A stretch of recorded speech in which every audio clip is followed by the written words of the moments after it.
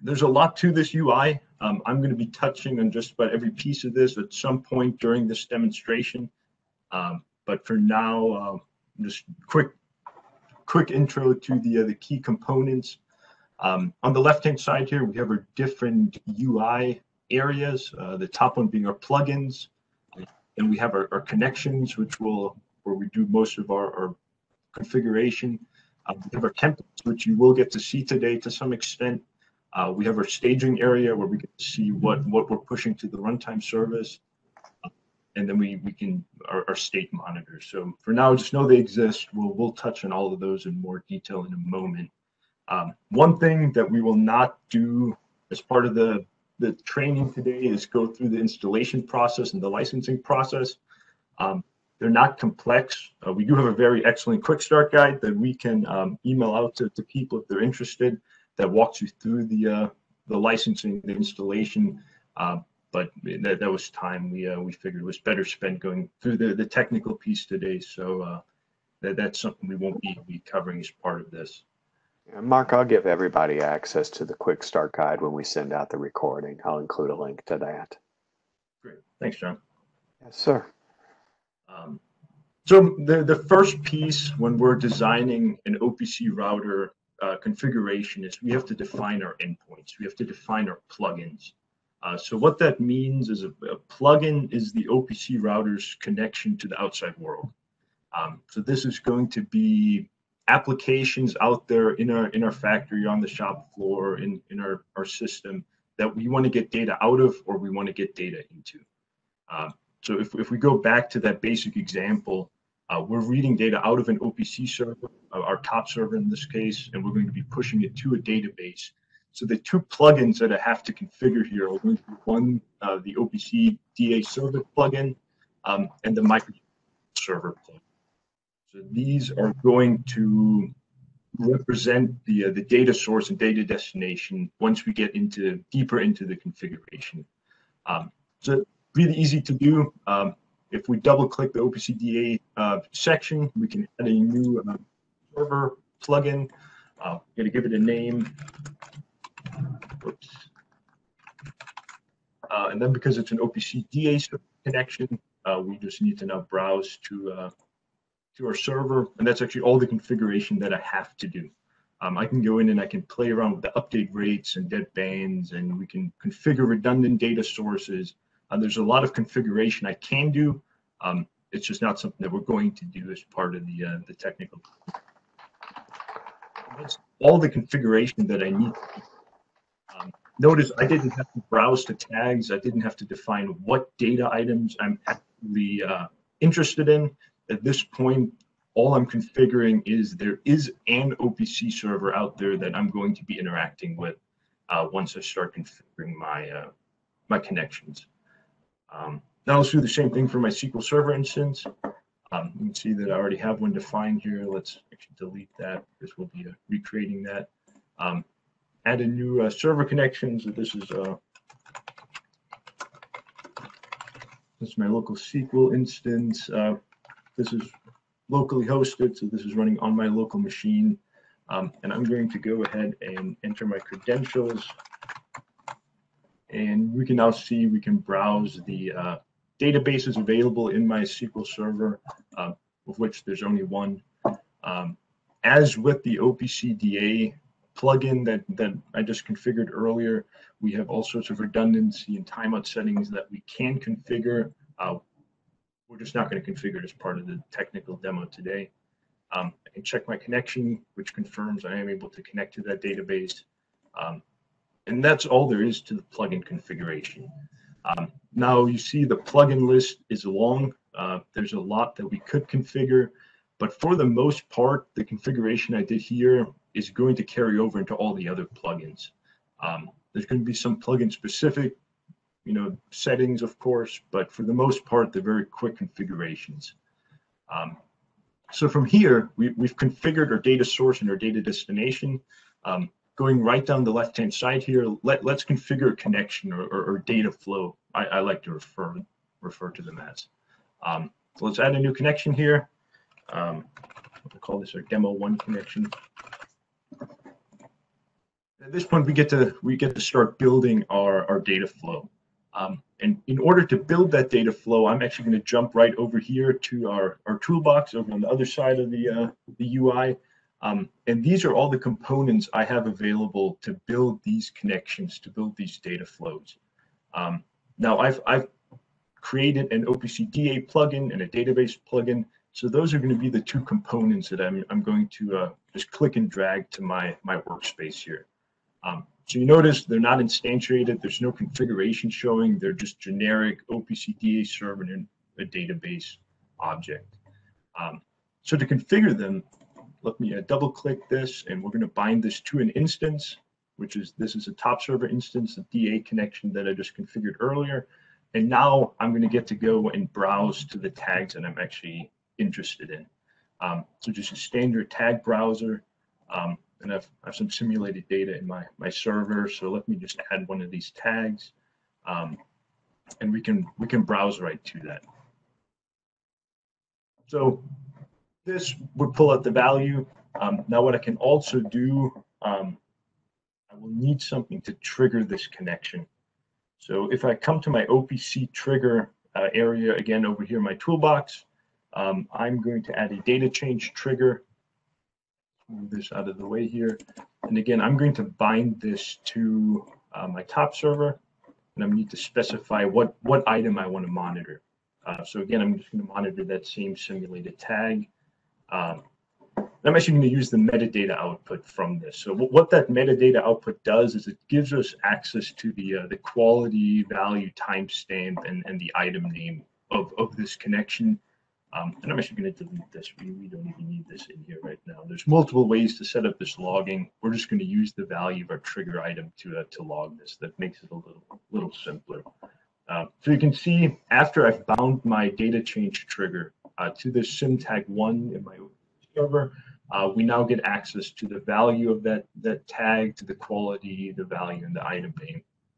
Um, so now let's configure a database.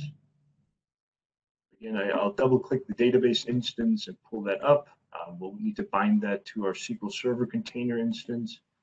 Um, and the type of interaction that I want to do with that database is I want to insert data into it. And you can see we can delete it, we can call store procedures, we can do a lot with it. Um, in this case, we're logging data, so we're just wanting to insert that, uh, that data in. Um, so the next step here is we need to select our, our table, of course. Uh, I have a router logging table already built and you can see the columns that I have access to as part of that. So these are columns that uh, I can use if I want to, I don't have to. So you can see by default, they show in the available columns um, area of the configuration, and I don't have any that I'm using right now. Um, so I'm just going to add all of them. Uh, we're going to make sure something gets logged to all of these uh, the, these columns in our in our database.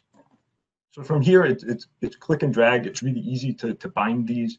So the, the value of my trigger, I want to, of course, go to my tag value column. Um, my quality ID is going to go to my quality column. Uh, the time is going to go to my uh, OPC timestamp column. The uh, item name is going to go to my tag name column. I'm not going to do anything with the quality string, which is just going to be the, the string good or bad. Um, you can see there's two columns here that I haven't done anything with. One of them being the system time and the other the system ID. Um, so just as part of this demo, um, we don't have to populate these columns all from the same data source. So just because we can, let me uh, throw something in here. I'm going to grab this variables object out of my toolbox. You can see there's a few variables already defined, one of them including the system time. So this is the, this timestamp of the system where the OPC router instance is running. So let's uh, let's log that just in case it's different than the OPC timestamp that my OPC server is sending me. Um, and then the system ID, uh, this is just going to be a constant value that this OPC router is logging. Um, in scenarios where you might have multiple OPC router instances or, or multiple data sources logging to the same table, um, logging some sort of constant lets you easily identify where uh, where that data is coming from. Um, so I'm just going to log a constant value of one. And that's it. Now that's actually all there is to this this configuration. Uh, we have a, a, trigger that's going to uh, to uh, to drive these data inserts to the database.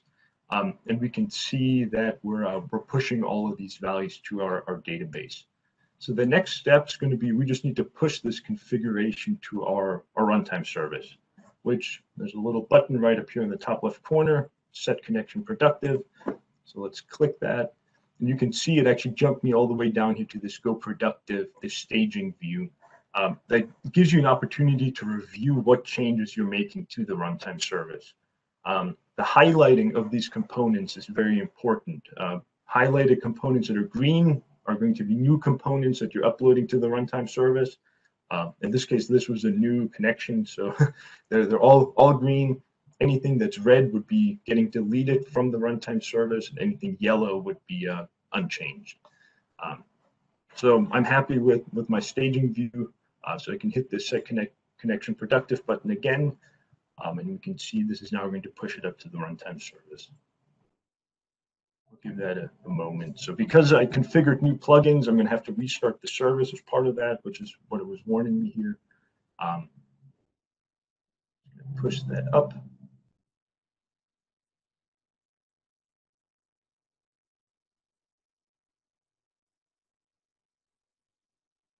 Because my service isn't currently running, it needs to start as part of that. And that's all there's to it. So this is now running in my runtime service, and we're actually going to jump all the way down here to this last uh, part of the UI, the state view, and we can monitor this demo one connection. And we'll give it some time to initialize here. We will see in the uh, in the monitor view at the top here when those data transfers start happening. Um, and then I'll jump over to SQL and we can see the uh, the data get inserted there as well Give this a moment to, uh, to initialize. Since the service wasn't running when we uh, we did this upload, it's going to take it a while to go through, uh, startup. Um, which while that's happening, talk a little bit of what this state view lets us do. It lets us monitor what the current state of these connections are. That, that includes uh, data transfers, what the current values are that are being transferred. Um, lets you see the current state. So we can see this yellow means it's initializing and it's checking connection. Um, and then it also lets us see a history of all data transfers that have happened in the past. Um, this is going to go through its initialization now. Um, and what we're looking for are these little green dots that are going to start appearing at the top here, symbolizing our, our data transfers. Oh, and there we go. That That's what we're looking for. So each of these little green dots symbolizes a, uh, a data transfer. Um, this is logging data that's changing every second. So we're, we're expecting these update just about every second. Um, and the height of the dot shows us how long it's uh, it's taking to um, to complete that data transfer. Um, now, the other thing that we can uh, we can look at here, we can actually see the live values that are getting transferred right here in our state monitor.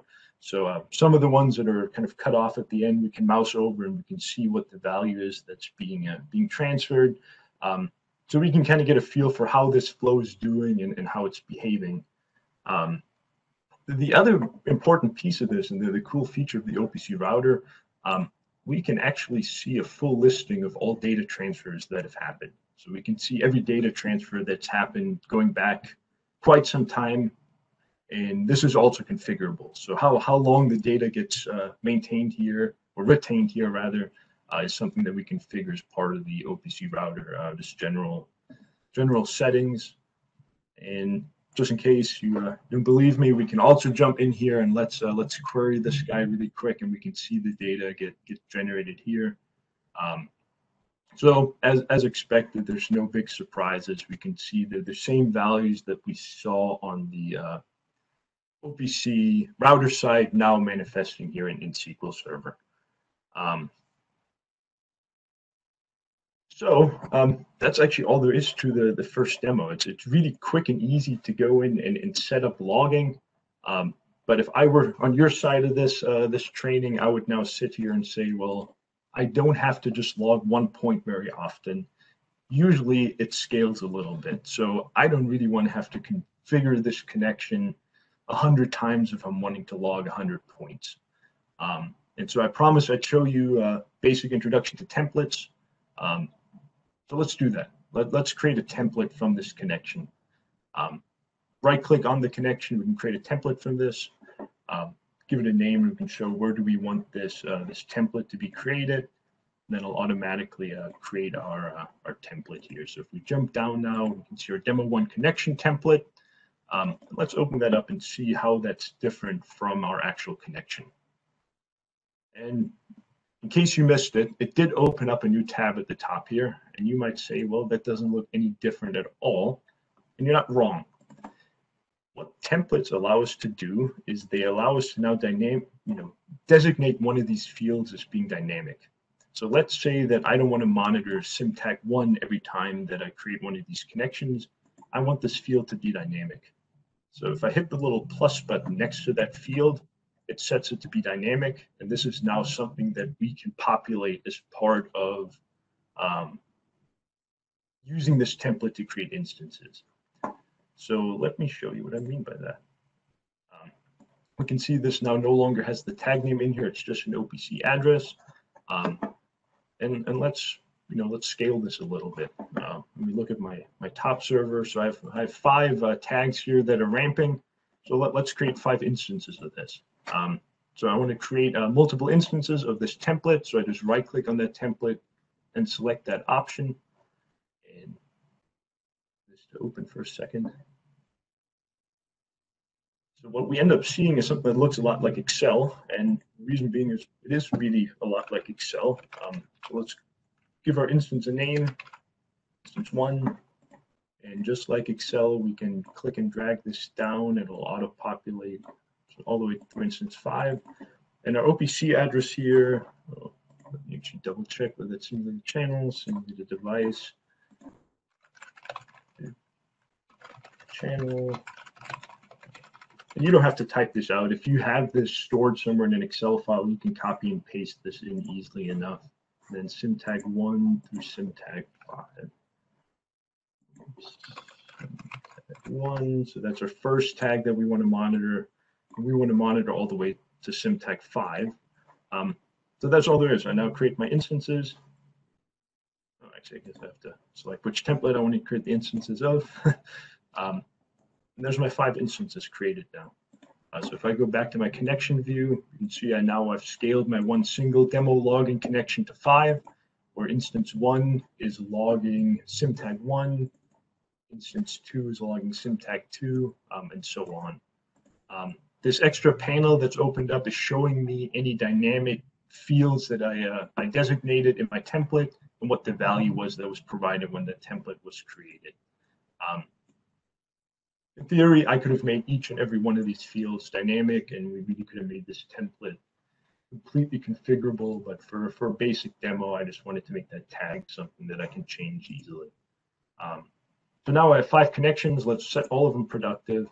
Um, and what we will see, set all of these guys productive. We see again, we, we see this green color um, because we're, we're uploading something new to the runtime service.